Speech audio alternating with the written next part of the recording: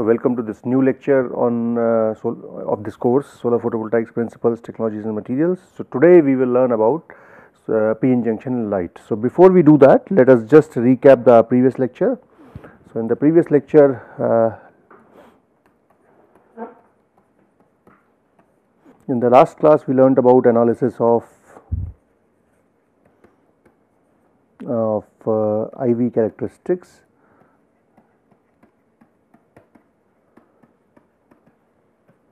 for a p-n junction in dark. And what we did was basically we solved the solve the uh, minority carrier equations right.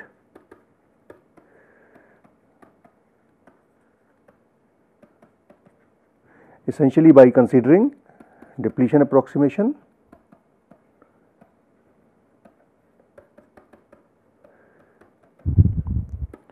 low level injection. And we considered only drift uh, sorry diffusion and recombination in bulk okay? That is on p and n side all right and what we did was we first derived the expressions for delta Pn and delta Np. So, delta Pn would be uh, the minority carrier that is hole on n side and then delta Np would be minority carrier that is electron on p side. So, we got the expressions for these uh, from just the junction potential uh, analysis.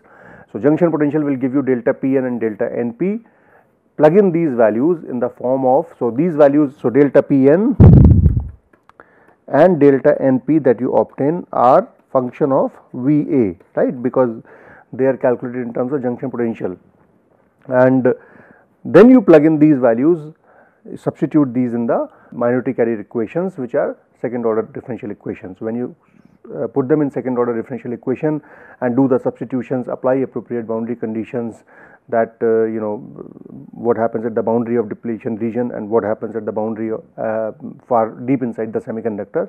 So, when you apply these boundary conditions then you get the expressions for uh, mm, uh this current and uh, basically you get the expression for first the, the delta Pn and delta Np and then you put that into the diffusion current expression. So, you calculate what is Jn and Jp diffusion and then you sum them together to calculate the total current in the semiconductor uh, device. So, what we got was something like this I is equal to I naught exponential of QVA by KT minus 1 all right and I naught is this reverse saturation current.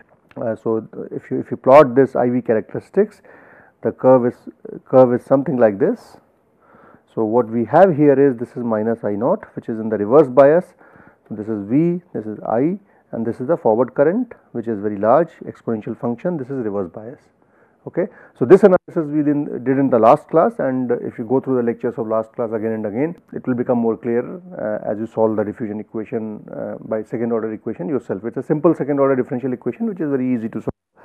Now, what we will do today is we will take uh, we will we will analyze the uh, p-n junction characteristics of a device in dark in, in light so, for this I would first recommend you to uh, these uh, books and the reference books for this section first can be considered is this uh, handbook of photovoltaic science and technology science and engineering by A. Luque and S. Hegedus Wiley publications it is a very good book again it has the analysis for uh, characteristics and light and then physics of solar cells by Jenny Nelson Imperial College Press again a good book. So, most of the uh, material that I am going to teach is going to taken from is, is taken from these two books uh, in the context of physics of solar cells in particular this physics of solar cells by Jenny Nelson. Okay. So, now uh, let us look at the so what we are going to do is that we are going to make our work for a typical PN junction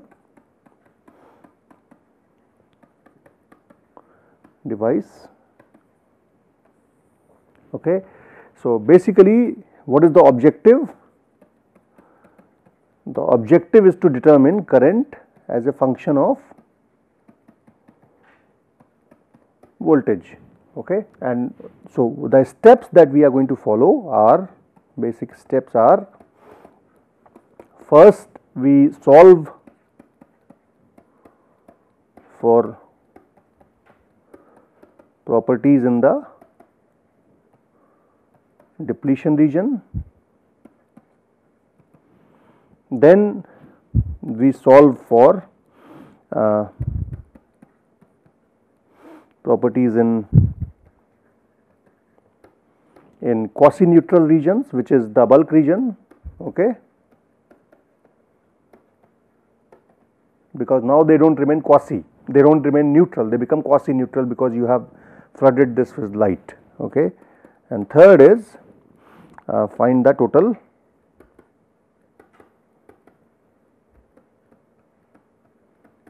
total current all right. So, this is how we go about it. So, let us first so the, when we do semiconductor semiconductor analysis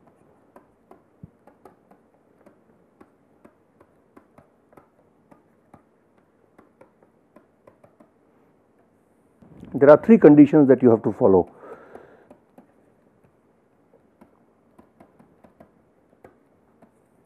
First condition is that you have thermal equilibrium. So, that is what we did for PN junction. That is dark with no bias. That is the first condition that we followed right? And then we have we can have so this is the basic condition that is present when you have no light and no bias. Then you can have another condition which is steady state condition in which you have a constant voltage or light intensity which is applied to the device okay? And then we have third one is transient. That is device performance or device characteristics are a function of time okay or you can say parameters they change with time. Generally solar cell operate in these two regimes okay. So, generally solar cell obtain, uh, operate either in steady state conditions or in transient conditions. For the sake of analysis we consider solar cell as as steady state device for the sake of for analysis. It makes it a little simpler because if there is a time dependence then it becomes even more complex. For the sake of simplicity we keep the keep the solar cell device as a as a steady state device that means we consider only under a constant illumination or a constant voltage there is no change in uh, these parameters as a function of time. So, next we we make what we call as depletion approximation This you are familiar with already that we have made in uh, PN junction in dark also. So, basically we have a PN junction like this, this is the device okay. Somewhere here we have a junction uh, on this side we have P side, on this side we have N side. This is the boundary of depletion region so, you can say this is minus Wp, this is plus Wn and so this is basically you can say p type region 1 uh, which is called as quasi neutral region which is what we called as neutral regions earlier. And it has 0 electric field. That is no electric field which means the bands remain flat. Okay this is N side, this is region 3 uh, which is again uh, you can say quasi neutral region with no electric field okay? And then we have what we call as uh, so you can say um, let me use a different color here so, if let us say this was red, this p side, okay, then this boundary is the depletion region boundary on the p side. Okay. And if uh, I take the as the original color then this is what is your so this total is we can say is the depletion region which is basically demarked as region 2 okay which is with electric field so electric field is is not equal to 0 okay so, this is what we have here. So, this is at x is equal to 0, this is at x is equal to minus Wp, this is at x is equal to Wn and you can either change the origin from 0 prime, 0 double prime or you can keep the same origin just that you have to change the limits. So, what is the general procedure for solving? So, let us write the general procedure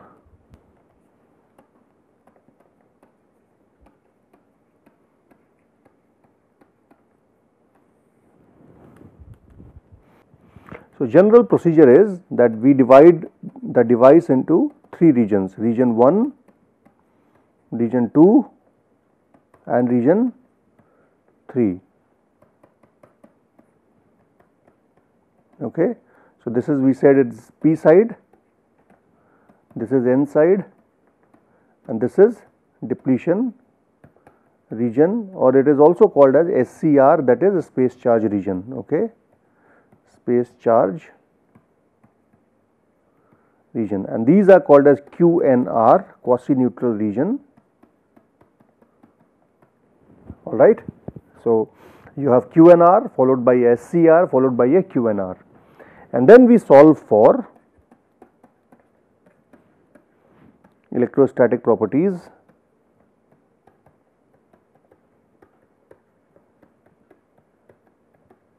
In the uh, in region 2. Okay. So, generally the solution will depend upon the doping profile, but we assume that there is a, a constant doping and the junction is an abrupt junction. Okay. So, we assume that it is a constant doping throughout the semiconductor and abrupt junction all right. Third uh, is solution for solve solve for carrier concentration and uh, current in QNR that is the quasi neutral region that is region 1 and 3 under state under steady state condition. So, we assume that this is under steady state. So, and what you do in this is first you get a general solution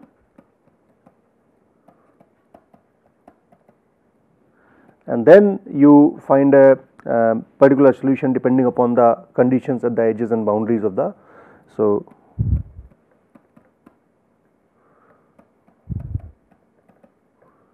determined by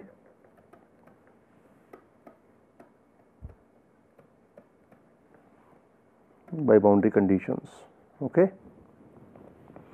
And then we find the relationship between uh,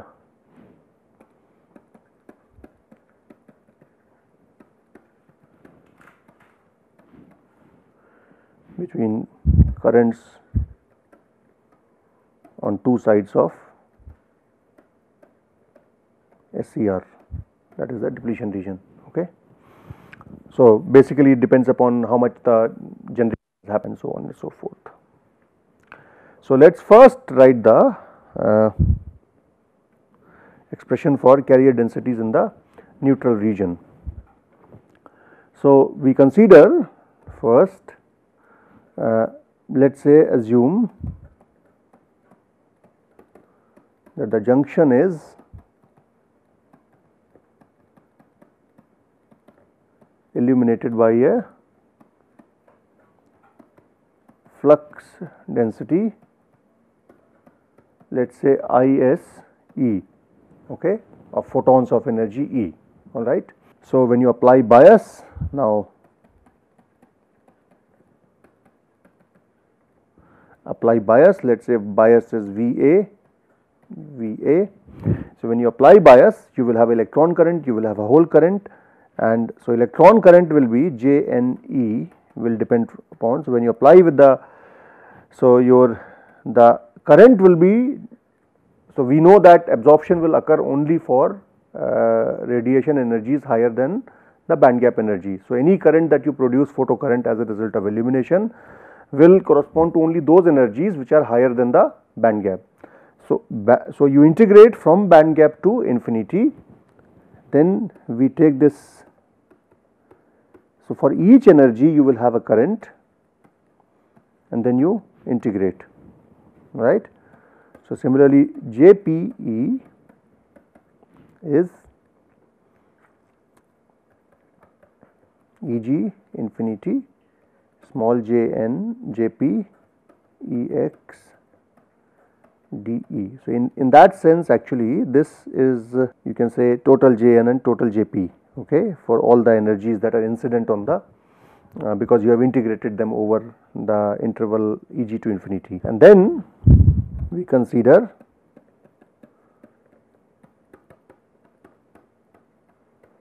flat band conditions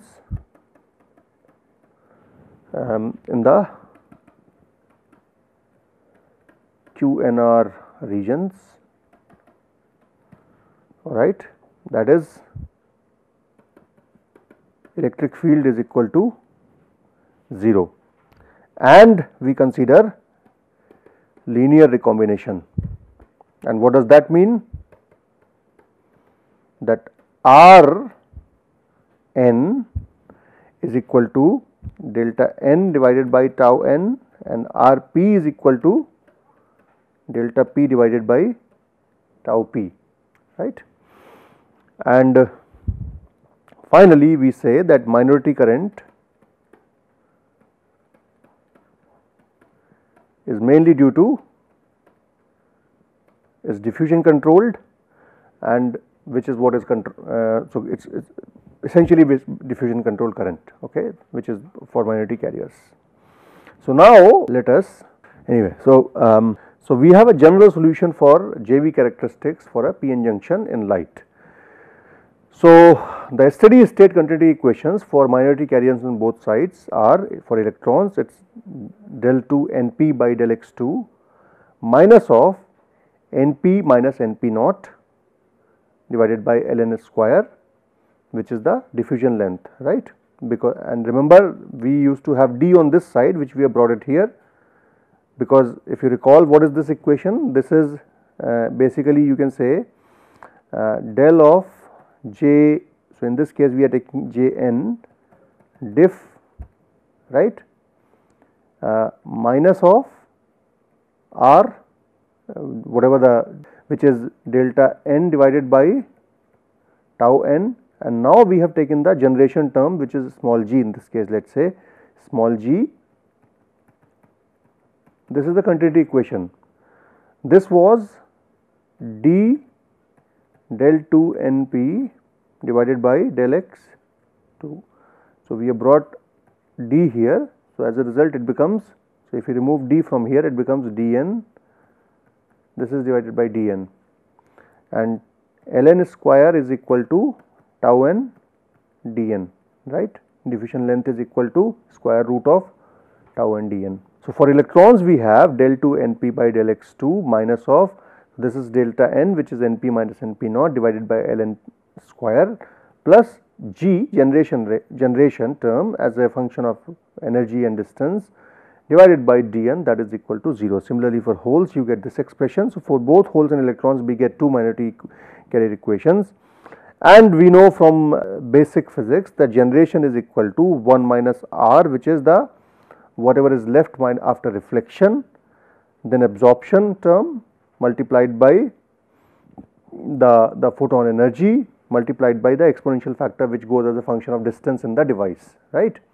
So, depending upon how you how deep you go you will have so absorption. So, at x is equal to 0 this will be the absorption and if you go uh, at this little deeper into device the absorption will reduce as a function of this uh, equation. So, this is what the situation is you have now a device edges of the device are located at minus xp and xn whereas edges of depletion region in the p and n side are located at minus Wpn plus uh, sorry this should be plus Wn okay. So now we go to next. So we in, in the next first we do for SCR analysis. So we say that electric field the intrinsic uh, energy level is flat in neutral region, but it varies within uh, SCR and the Fermi levels on P and N side EFN and EFP are split but constant throughout the SCR. So, the situation is like this. So, uh, now we draw the band diagram of a PN junction uh, semiconductor. So, let us say this is the band diagram right and within this uh, so, so you can say this is the P region, this is the N region and between this we have SCR. So, essentially this is let us say the EI the intrinsic Fermi level, intrinsic Fermi level will always remain at the mid of the uh, semiconductor. The since the since the electron uh, since the n side is now uh, illuminated with light which means n side is flooded with electron electron concentration in n side becomes huge as a result the quasi Fermi level for so this this Fermi level on n side so, EF n shifts up whereas the EFP on the other side since this is the P side the EFP on this side is lower right because this is P side region. So, it is going to be P rich the Fermi level for P is going to be lower on this side whereas Fermi level for holes electrons is going to be.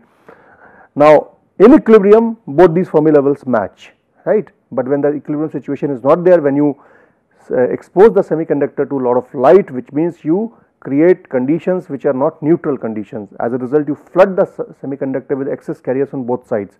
So, n side becomes extremely rich in electrons because you have suddenly uh, excited a lot of electrons from the valence to conduction band. Similarly, the similarly the p side becomes uh, uh, flooded with carriers. So, as a result the Fermi levels move away. The electron Fermi level that is on the n side Fermi level moves up it becomes more and more uh, electron rich. On the other hand, the p side becomes more and more hole rich, so that uh, the Fermi level moves down. And this is what we saw earlier because remember EFN was equal to EI plus KT by Q ND divided by sorry ND divided by NI. So, as ND goes up, now in this case ND is not increasing, but N is increasing so, this was basically you can say small n n right. This increases as you expose with light. So, when this increases this also goes up. Similarly, in the other side is EFP which is EI minus this term into NPP. So, this PP will increase as a result this will go down. So, this will go down this will go up with respect to the equilibrium positions. So, as a result of elimination these two change. So, you can say that n is equal to Ni into exponential of EFN minus EI divided. Now, this is the electron concentration term from semiconductor physics. Similarly, P is given as Ni exponential of EI minus EF um, P divided by KT and this these two increase as this gap increases. So, the more this Fermi level shifts towards the conduction band which means n increases the more the Fermi level shifts towards the valence band p increases after illumination. So, you can say that J, JSCR in this case space charge region is equal to Jn from minus Wp to Wn plus Jp from minus Wp to Wn right. So, we are first worrying. So, this is equal to q minus Wp to Wn uh, r minus g dx. So, essentially how, what is the recombination, what is the generation depending upon that your net current from the space charge region will be produced. So, this is unlike dark situation because dark situation was there is no generation there is no recombination but now we are saying that we are throwing the so when you have you have a semiconductor device like this and you have flooded this with light. So, this is coming. So, whether it is this region or that region or this region everywhere you will have carrier generation. All across the semiconductor device you will have carrier generation which will lead to splitting of Fermi levels. As a result you will have net current coming also from the SCR region. So, the total current in this case turns out to be if you take for a particular energy small j e is equal to j n minus w p e plus j p minus w p e. And and this is j n at minus w p e j j p at w n e plus whatever is generated from the SCR region. So, essentially we are saying this, this J p in this case is nothing but giving rise to whatever was J p at W n e at W n plus whatever is generated from the SCR region. Okay. Because remember the total current throughout the device has to remain. So, we are saying that in this case. So, if you remember we said that this is the device, this is the minus Wp, this is plus Wn. So, we are saying that the total current at this, so if, if this is J total, okay, we are saying that let us say you have some uh, electron current at minus Wp which is the minority carrier, some elect some hole current at plus Wn uh, uh, sorry at this at if you want to locate at this particular point whatever the hole current is there and whatever the electron current is there total will make the total current. This is fine in case of normal dark condition you can say because this condition these two currents remain constant within the. So, if this is Jn if this is Jp they remain constant within the depletion region. However, after illumination it does not remain so after illumination they do not remain the same. So, what we do is that Instead, we are saying whatever is JP at whatever is uh, whatever is JN at this point, let us say JN, so this is JN at minus WP plus whatever current was here okay and then whatever is generated as a result of space charge. It could be negative it could be positive depending upon more recombination or more generation. But this current is not same as this current. Because earlier we assumed whatever goes in goes out, but now that is not the case because we have recombination generation taking place. So, for so, so for current to be calculated at this particular point, we take the electron current, so electrons are coming from this side to that side plus hole current at this side and what so holes have gone from here to here right. So, this hole current will change as it goes from here to here Similarly, this similarly this electron current as it comes from as the see you you flood this side with excess holes lot of holes are there after illumination and these holes will jump to this side. Similarly, you have lot of electrons on this side and you will create a massive diffusion uh, flux on this side. So, as a result uh, now and, and since this region is also leading to carrier generation to this side there will be change within the depletion region.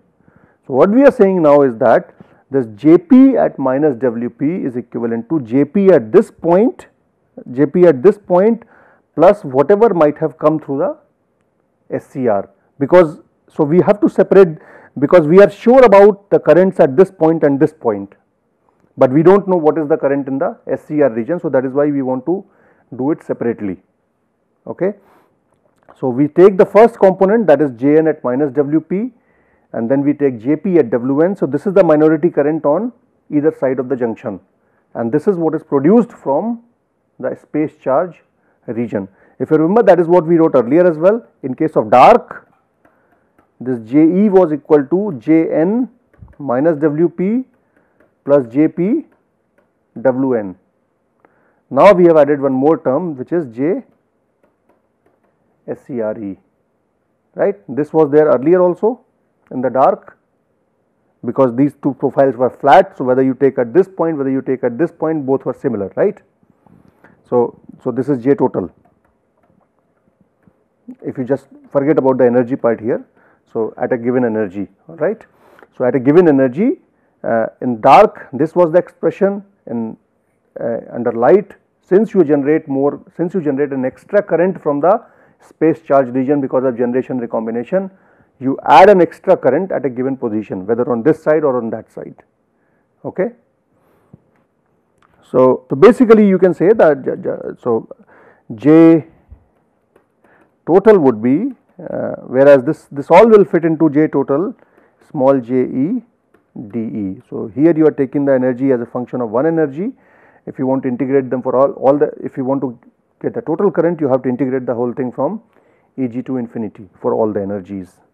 So, now uh, we need to solve these equations uh, the differential equations which I showed you earlier the minority carrier equations solution of those equations require you to have boundary conditions. So, uh, we will take that, that, that up in the next lecture. Okay. So, what we have done in this class is we have just looked at some basic conditions for analysis of light current in a PN junction device and we have divided the semiconductor device in 3 regions region 1 and region 3 are quasi neutral regions on p and n side and space charge region is the uh, is the is the junction region around the junction uh, where you do now the approximations remain the same however the conditions change because of uh, flooding of uh, because of generation recombination happening because of exposure to light. So, we will do further analysis in the next lecture.